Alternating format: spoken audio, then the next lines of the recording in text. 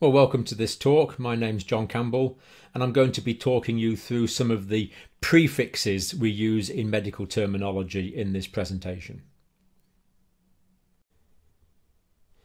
Now, the prefix comes in front of a word and gives us information about the word that's going to come. So, whenever we see a on front of a word, that means without. So, apnea, achlorhydria, atony, or mean without the word that is to come. Now, what I've done in these presentations is I've made the prefix in red. So we see the word there is apnea, apnea, pronounced apnea. And in the States, you wouldn't include the O in the word. So pnea means breath or air. So apnea means without breath or air. Apnea pronounced apnea. So someone who is apneic is not breathing. Now the chlorhydria refers to the hydrochloric acid in the stomach. So achlorhydria would be a condition where there is no hydrochloric acid in the stomach. In practice, it would mean there is less hydrochloric acid in the stomach than normal. Atony, now the tony part there, or the teny part, T O N Y, that refers to the tone of a muscle. So atony is a condition where the muscle has lost its tone, the muscle has lost its strength. So, for example, in the post operative situation, there could be a gastrointestinal atony. And if that's bad, it could be a paralytic ileus where the bowel isn't working at all for a period of time. Or there could be a uterine uh, atony. That's loss of tone in the uterine musculature after childbirth.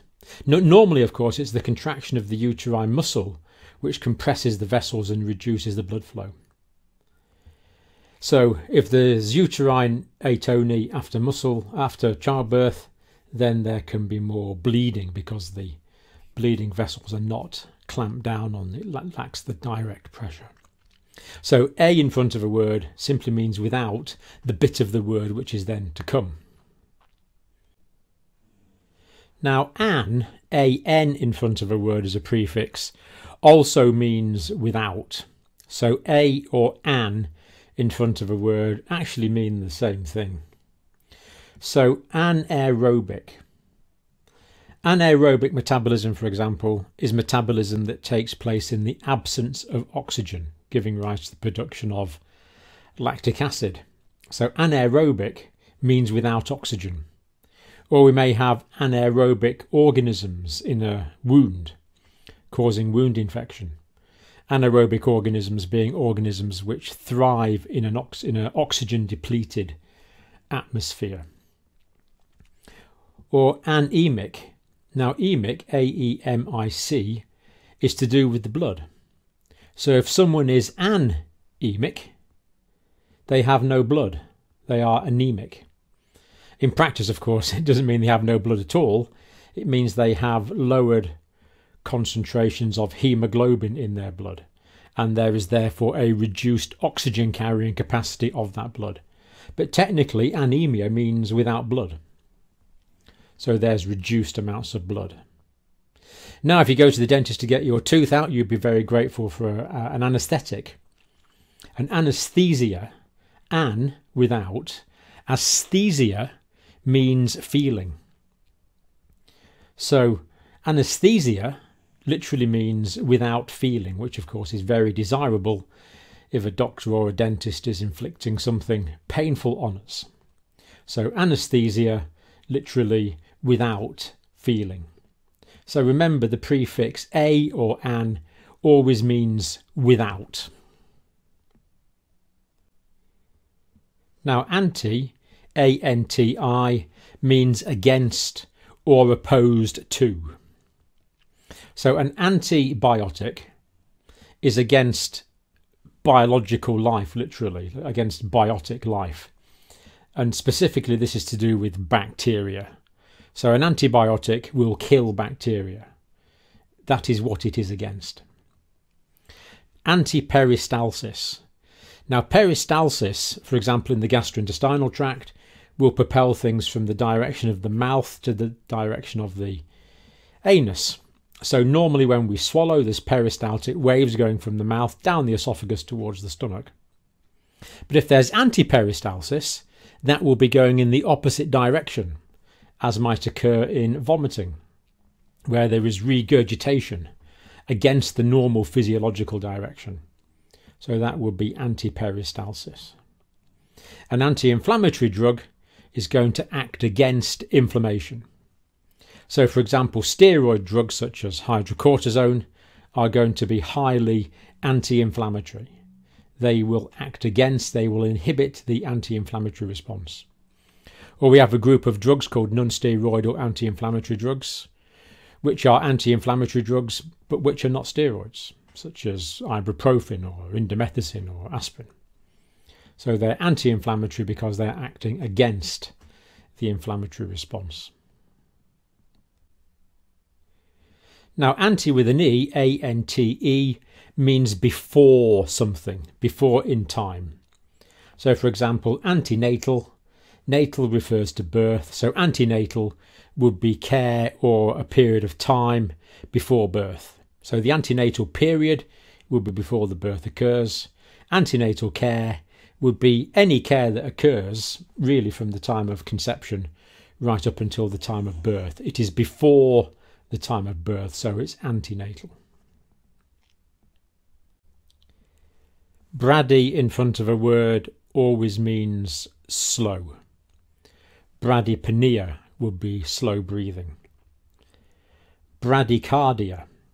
Cardia is to do with the heart. So a bradycardia is a slow heart rate. Technically, any heart rate below 60 beats per minute, although we'd have to think about that in the context of the patient's physiological norm, but bradycardia, slow heart. Bradykinesia, kinesia means to do with movement. So if someone has bradykinesia, their movements are slow, as for example might occur in Parkinson's disease. Cardia, cardiac, cardio means to do with the heart. So, in a cardiac arrest, the heart is arrested and there is essentially no cardiac output. Cardiomegaly. Well, cardio means heart. So, can you see there's a heart megaly? Cardiomegaly. And megaly means pathologically enlarged or big. So, a megastructure is a big structure. A megaly is when the thing being described is enlarged. So a cardiomegaly is an enlarged heart, as may occur, for example, in chronic left ventricular failure. There is an abnormally enlarged heart. Cardiology, or a cardiologist, cardiology is the study and science of the heart. A cardiologist is someone who studies the heart, usually referring to a doctor who specialises in cardiac diseases. Now, chole means to do with the bile. You might remember that when red blood cells have lived for about 120 days, they're broken down by the macrophages in places such as the spleen, but that bilirubin is released. And the bilirubin travels to the liver and is incorporated into the bile. The bile then goes down the hepatic ducts and is stored in the gallbladder. So, chole as a prefix means bile, to do with bile. Now, when I've got a three part word in this series, I put the prefix in red and the suffix in blue and the root of the word in black in the middle. So here we have a word, cholecystectomy. So chole is bile, cyst is a fluid filled space relating to the bladder. So the cholecyst is the gallbladder. An ectomy is a surgical removal of. So chole bile, cyst bladder, ectomy, removal of, surgical removal of the gallbladder. Cholangitis refers to inflammation of the bile ducts. So, chol is bile, itis, inflammation of, cholangitis, inflammation of the bile ducts. Now, most commonly, this will be caused by ascending bacterial infection coming up from the duodenum. So, for example, if there's a blockage caused by uh, gallstones or a tumour, there can be associated infection of the bile ducts, leading to inflammation of the bile ducts. Or there's another, fortunately rare condition called primary sclerosing cholangitis. Sclerosing means hardening of a tissue. And in primary sclerosing cholangitis, it's probably an autoimmune disease. It's certainly idiopathic. We're not quite sure what causes this. But there's inflammation leading to fibrosis, leading to obstruction, over time leading to cirrhosis and uh, liver failure. So it can be quite a chronic condition of uh, this primary cholangitis. Cholecystitis, chole, bile, cyst, bladder, so that's the gallbladder. Itis is inflammation of. So cholecystitis is inflammation of the gallbladder. For example, there might be a stone obstructing the cystic duct, which is the duct communicating to and from the gallbladder. If that's blocked, the bile won't be able to escape. The bile will be retained in the gallbladder. It will become static. And whenever we have stasis, infection is likely to develop, and the infection can cause the inflammation. And in fact, if this is severe, the, there can be pus developing inside the gallbladder. That would be a condition called empyema of the gallbladder. But in cholecystitis caused by infection, there'd be pain in the upper right quadrant of the abdomen, and the patient can be very unwell. They can be fever and even sepsis. Now, col, if it's just C O L, as we see in the red prefix here, means to do with the colon. So, col for colon, the large intestine. And you probably know this begins down in the lower right portion of the abdomen with the cecum, the appendix, the ascending colon, transverse colon, descending colon. On the lower left side of the abdomen, sigmoid colon, rectum, and anus, all that large intestine. So, colostomy, a colostomy is an opening. Ostomy means opening into, a surgical opening. So, a colostomy is where the bowel opens normally onto the wall of the abdomen, formed by a surgeon, when usually part of the colon is taken away for malignant reasons, for example, and an opening of the colon is made onto the abdominal wall, colostomy. Colectomy well, ectomy means removal of, surgical removal of. So a whole colectomy, a complete colectomy might be fairly rare, but you can get various forms of partial colectomy where part of the colon is removed. Colitis is inflammation of the colon.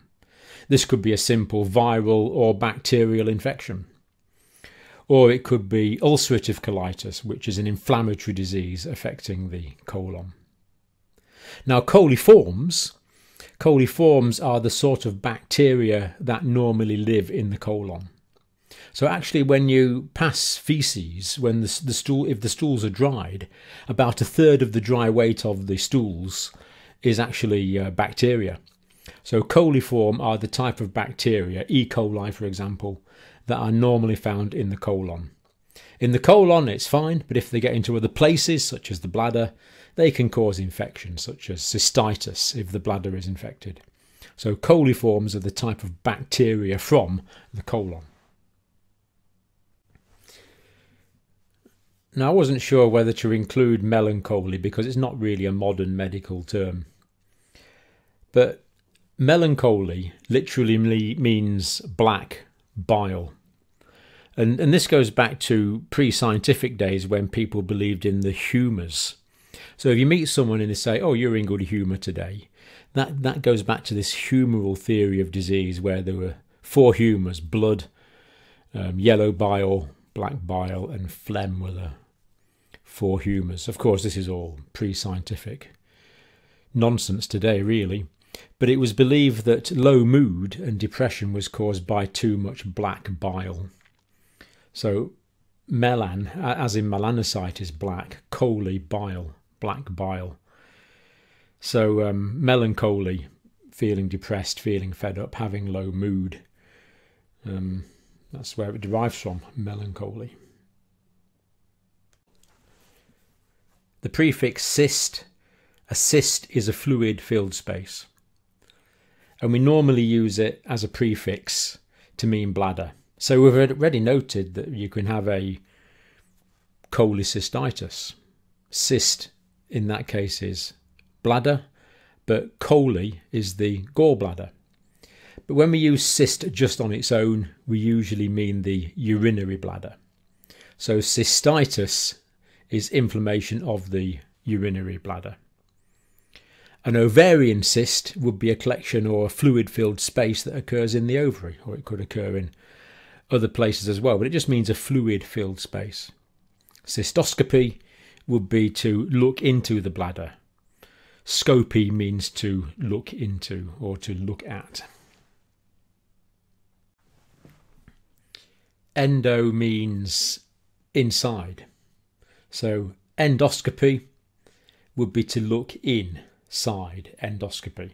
So a colonoscopy looking into the colon, a gastroscopy looking into the stomach, a cystoscopy looking into the bladder are all forms of endoscopy. It is any time we are looking inside. Endocardium. So the endocardium is the inside layer of the heart. The outside layer is the pericardium, the middle layer is the myocardium, and the inner layer of the heart is the endocardium, the layer inside the heart, lining the chambers of the heart. Endocarditis would be inflammation of the endocardium. The endometrium is the inside layer of the uterus. So endo simply means inside. Enteric comes from the Greek word enterokos, which means intestine. So it means intestinal. So enteric fever would be a fever that derives from an intestinal infection. Enteric feeding would be putting food directly into the gastrointestinal tract. So nasogastric tubes, we often call those enteric tubes. In actual fact, the nasogastric, if they're enteric, they go straight into the intestine, but we normally call it enteric feeding. Though having said that, any time you eat normally, that's enteric feeding because it's going into the intestine. Enteric coated would mean that a medication is covered with a special coating so it's not absorbed in the stomach but goes straight through to the intestine. Enterovirus would be a virus that infects the intestine. Gastroenterologist, or gastro is stomach, and then the uh, entero part would be the intestine, so that would be a stomach, intestine, and an ologist or a logist is an expert. So, gastroenterologist is someone who is an expert in the stomach, intestine, yeah, the stomach and the intestine together. They are an expert in those two things. Normally, of course, it means a doctor who studies diseases of the gastrointestinal tract. Now, dys, dys, is one of the more common prefixes, and it means an abnormal or painful situation. So, dysuria, the prefix is dys, the suffix is uria, painful passage of urine. Dysmenorrhea Rhea means to flow. The M part there, the men part, is to do with menstruation. So dysmenorrhea means painful menstruation, pain associated with menstruation. Often referred to as period pains would be dysmenorrhea. Dyspnea, the pnea part is to do with breathing. So dyspnea is difficulty or pain breathing. Normally, we use the term dyspnea to indicate abnormal or difficult breathing when the patient finds it difficult to get their breath. Now, don't get the next two mixed up. Dysphagia, the phagia part is eating or swallowing. So, dysphagia is difficulty swallowing. Dysphasia, the phasia part relates to speech. So, dysphasia is difficulty with speech. Both of those, for example, can occur after cerebrovascular accidents. Gast or gastro refers to the stomach. This is the anatomically precise stomach between the esophagus and the duodenum. So gastritis, inflammation of the stomach. Itis means inflammation of. Gastroscopy, to look into the stomach, very often with an endoscopic gastroscopy tube. Gastroparesis. Now, paresis means a weakness. And sometimes, for example, in long term diabetes, there's damage to the nerve supply to the stomach, which means there's a weakness in the stomach and it can't process the food properly, and that can result in vomiting, especially if the patients eat large meals. So, gastro prefix, paresis suffix, paresis means weakness. Gly means to do with sugar. As we've said before, the sugar in the blood is glucose. So hypoglycemia, hypo low, gly sugar, emia in the blood, low blood sugar levels, normally before below 4 millimoles. Glycogen is the storage molecule for glucose in the blood. So when the blood sugar levels rise, insulin is released, and insulin has several functions, but one of them is it will convert glucose into glycogen, a polysaccharide insoluble storage molecule, and the glycogen is then stored in the liver and muscles. When the blood sugar levels drop, if people need to increase their blood glucose levels, then the hormone glucagon is released, and that will reconvert the glycogen from the insoluble glycogen form back into the soluble glucose form to restore and maintain homeostatic levels of blood glucose.